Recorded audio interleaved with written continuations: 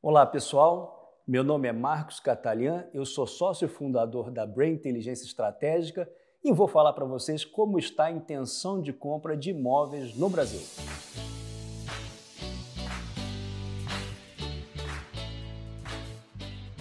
Você quer saber como está a intenção de compra no Brasil? Com tudo o que está acontecendo? Pois bem, a Brain realizou uma pesquisa que faz a todo trimestre para entender como é que está a intenção de compra dos brasileiros. E sabe qual foi o resultado? 39% das famílias brasileiras estão procurando para comprar um imóvel. Isso é muito importante, principalmente porque a pesquisa que a gente realizou vem mostrando que a gente já atingiu aquele patamar de estabilidade ao redor de 40%. Ou seja, mesmo no contexto atual, com tudo o que vem acontecendo, com o cenário econômico e político brasileiro, as famílias continuam com uma intenção firme de compra de imóveis. E o mais interessante, essa, essa procura está ativa.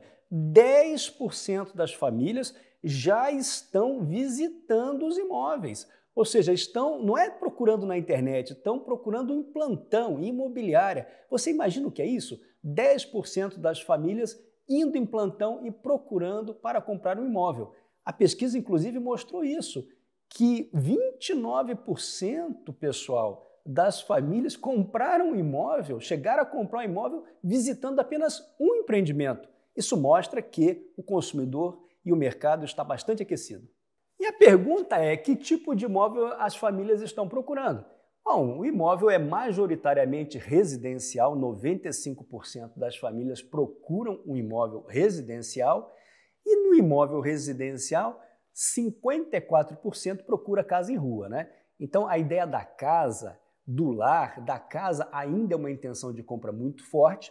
Nós entendemos também, vimos na pesquisa que 21% das famílias procuram por um apartamento, né, um imóvel vertical, um apartamento, 14% procuram casa em condomínio e 6% procuram terreno em loteamento aberto, 3% em loteamento fechado, ou seja, 9% procura terreno.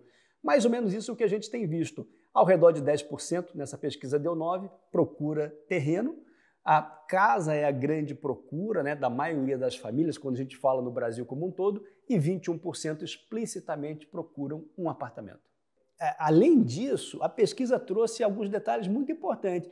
Que tipo de fator o consumidor valoriza? O que, que ele valoriza quando ele está procurando um imóvel?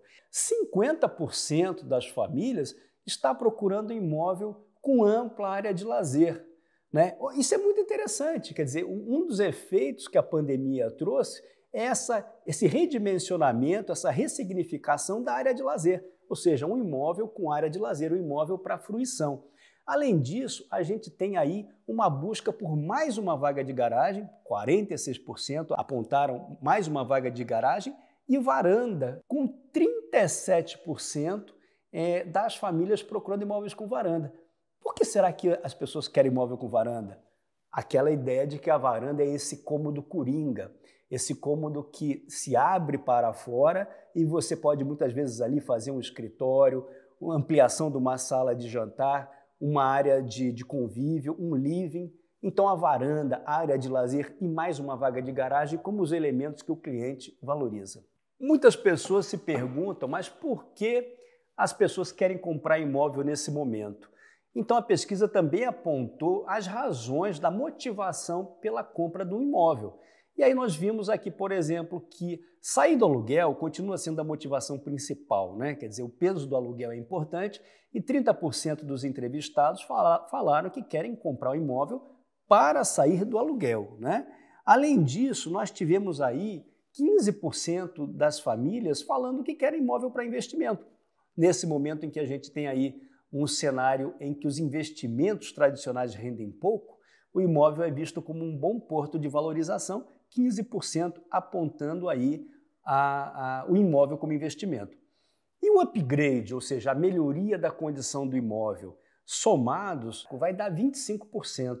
Ou seja, um quarto das famílias, na verdade, está querendo um imóvel para melhorar a condição é, é, de vida, melhorar a condição habitacional, que a gente chama de imóvel de upgrade trocar por uma residência mais nova, trocar por uma residência maior. ou seja, sair do seu imóvel atual ir para um novo imóvel. Esse também foi um dos efeitos aí da pandemia, né?